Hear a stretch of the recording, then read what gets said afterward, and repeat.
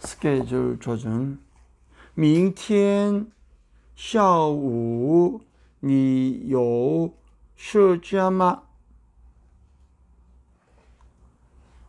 내일 오후에 시간 있습니까? 有 있습니다. 没有 없습니다.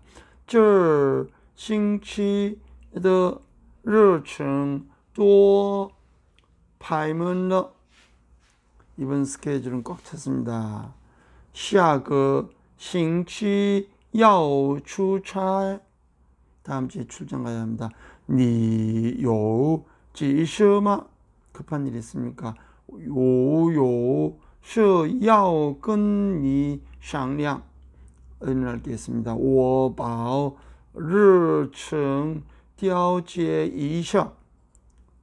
조정해 보겠습니다. 今天下午 三点我在公司오늘 오후 3시 회사에 있습니다.